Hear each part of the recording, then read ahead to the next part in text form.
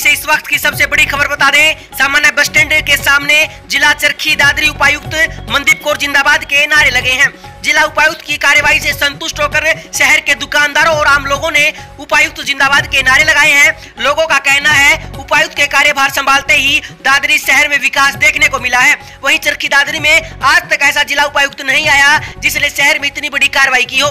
लोगों का कहना है, जिला उपायुक्त शहर में निष्पक्ष कार्रवाई कर रही है। पूरी खबर देखने के लिए चरखी दादरी न्यूज़ चैनल के साथ जुड़े रहें।